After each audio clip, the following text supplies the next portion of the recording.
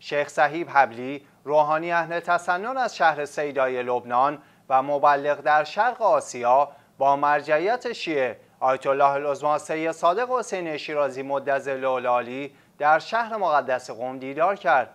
به گزارش شیعه به نقل از پایگاه اطلاع دفتر معظم الله در این دیدار میهمان مرجعیت شیعه گزارشی از فعالیت خود در زمینه آگاهی بخشی دینی و تبلیغ و مشکلاتی که در این زمینه ها با آن مواجه است تقدیم ایشان کرد بر اساس این گزارش مرجعیت شیعه ضمن خوش آمدگویی و تشکر از اظهارات او فرمودند دنیا به بازارهایی با کالاهای متفاوت میماند که انسان برای سوداگری از بازاری به بازار به امید کسب موفقیت می رود.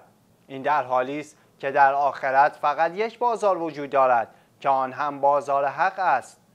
خدای متعال درباره حق میفرماید انسان بر نفس خود آگاهی دارد. مرجعیت شیعه تاکید کردند کار خوب شایسته تشویق است و کار بد باید نکوهش شود.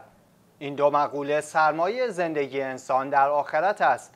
البته در این راه انسان با همان مشکلات و مصیبت ها و آزارهایی مواجه خواهد شد که رسول خدا صلی الله علیه و آله از مشرکان مکه و منافقین مدینه دیدند معظم الله تصریح کردند بکوشید که سختی ها و ترکامی های دنیا را بر خود هموار کنید تا دچار عذاب وجدان نشوید.